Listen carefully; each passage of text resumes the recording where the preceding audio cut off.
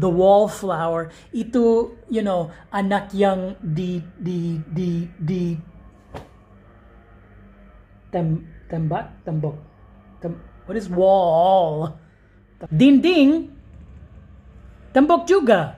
Istri punya tips belajar bahasa Inggris cara praktis dan gratis.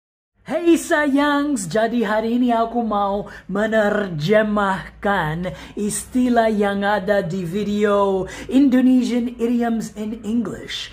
Uh, video itu yang lucu yang saya sudah menerjemahkan kata per kata untuk, you know, buat bercandaan gitu. Uh, coba kita nonton dulu ya. What are you doing? We wanted to go straight, straight to Bali. No, I'm not going.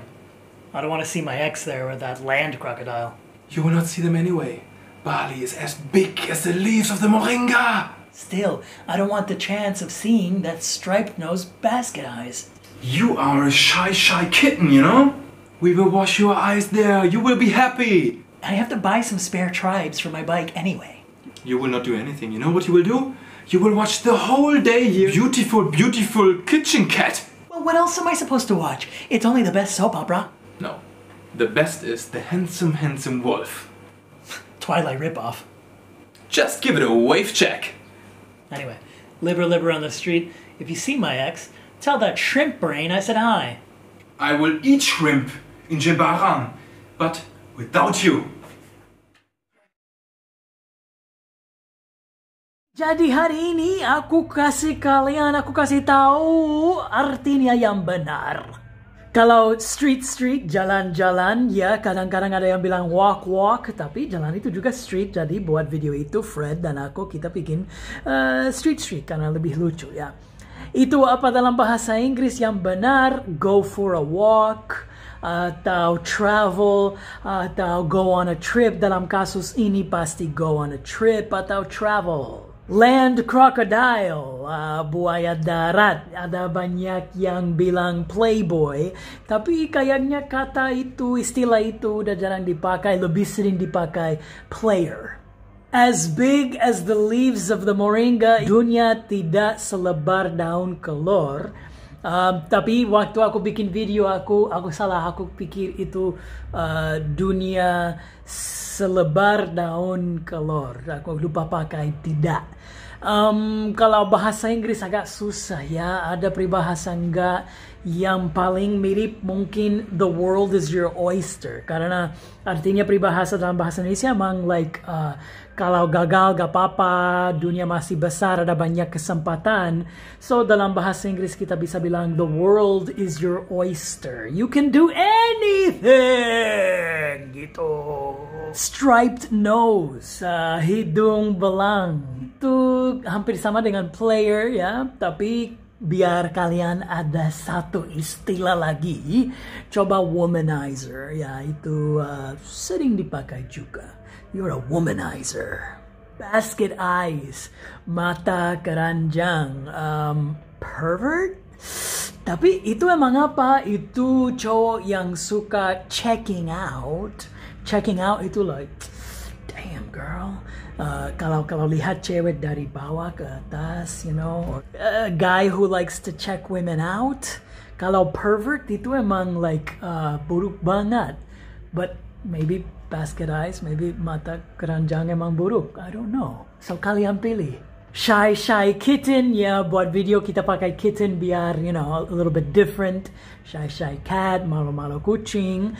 Uh, aku rekomend kamu pakai wallflower. Uh, ini emang istilah dalam bahasa Inggris wallflower itu berasal dari you know dance kayak school dance prom anak yang malu gak mau joget gak mau menari sama anak-anak lain jadi dia berdiri di di dinding you know like malu-malu kucing Wash your eyes, cuci mata. Ya, tadi aku bilang checking someone out. Uh, checking some guys out at the mall. Checking some girls out at the mall. Uh, cuci mata itu juga like kalau pergi ke mall tapi nggak beli, cuma lihat-lihat produk yang ada ya. Uh, itu ada dalam bahasa Inggris juga. Itu namanya window shopping. Spare tribes itu suku cabang ya. Um, itu yang benar spare parts, bukan spare tribes. So, waktu kita bikin video ini ada dua sinetron, uh, well no, uh, ganteng-ganteng serigala udah selesai waktu kita bikin video ini, tapi masih like ada yang tahu and like buat kita itu emang lucu banget, uh, handsome handsome wolf. And then yang kedua, cantik-cantik kucing dapur. Teman aku Bacun Hakim ada dalam uh, sinetron itu, jadi aku pakai sinetron itu. Even though kayaknya nggak lama ya, udah gak ada. Sinetron dalam bahasa Inggris itu soap opera. So dalam video ini Fred bilang wave check. Just give it a wave check. Cek ombak. uh, dalam bahasa Inggris itu apa? Size up check out. I'll check it out and then let you know. So dalam video itu dia bilang, you know, just give it a wave check. Just check out Handsome Handsome Wolf. Liver liver on the street atau bisa bilang heart heart on the street. Hati-hati di jalan. Yang benar be safe atau take care. Aku sudah bikin video ada di Instagram. Bukan be careful ya. Kalau kamu mau bilang hati-hati di jalan, itu bukan be careful. Be careful kamu cuma bilang sama orang kalau ada sesuatu yang berbahaya. I'm going to trim my eyelashes with this scissor. Whoa, whoa, whoa! Be careful. You're gonna cut your eye. Who trims their eyelashes anyway? Jadi gimana? Kamu harus bilang apa kalau mau bilang hati-hati di jalan? Kamu bisa bilang take care. Oh, you're going home now? Okay, take care. Juga bisa bilang be safe. Oh, your ojek arrived? Okay, be safe. Got it? I think you got it. Why wouldn't you get it?